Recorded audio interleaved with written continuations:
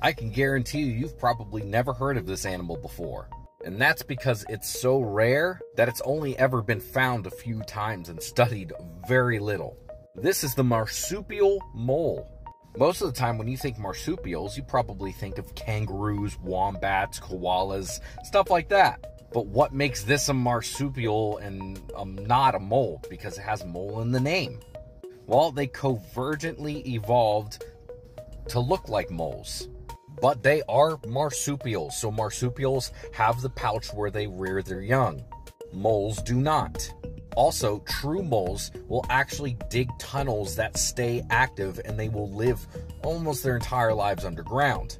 Marsupial moles swim through the sand, they do not create tunnels. Therefore, they actually need to come to the surface to breathe. But other than that, they live their life just like any other mole. And because the remote areas where they live, they're rarely ever seen.